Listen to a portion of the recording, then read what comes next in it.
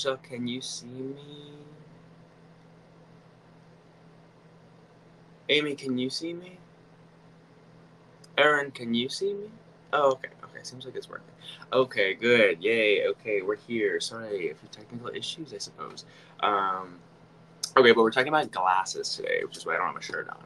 That makes sense. Um, I'm just joking. I was just exercising for the first time in like months. Um, and I wanted to show y'all. Yeah, I did. I did. I just thought it was really important to not have clothes on for these, just to show you guys all these beautiful glasses. Um, okay, but so the, this first, these first ones up are um, from a company called Baxter Blue, and they're really great because um, they block out blue light. And I don't know how much you guys might know about circadian rhythms, but essentially, our like eyes and our bodies react to the light that we take in throughout the day. And um, during the day like you know noon high noon we get a lot of blue light from the sun and through the atmosphere. And then in the evening we get more red light. Um, so and also so so anyway basically blue light is not so great if you're trying to fall asleep. Um, it's also not really great for your eyes. They say that um, blue light i think can actually like cause cancer in your eyes. Um, but basically these glasses block out uh, blue light which is really nice uh, especially if you're trying to sleep so hang on let me just go through really nice packaging let's just start with that really nice box and then comes with a really nice case. This is like the, probably the strongest, heftiest case in here. Um, little like you know leather wrapped thing. Super super nice, really high quality. Um, and these are not that expensive for for like high quality glasses. 89 down to 75 65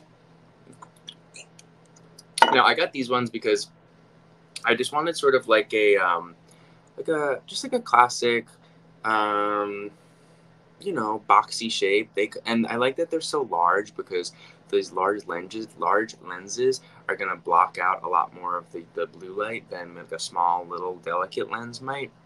So I like this shape a lot, but if you want even more oversized, they have this same style um, in uh, like a large size, which is nice.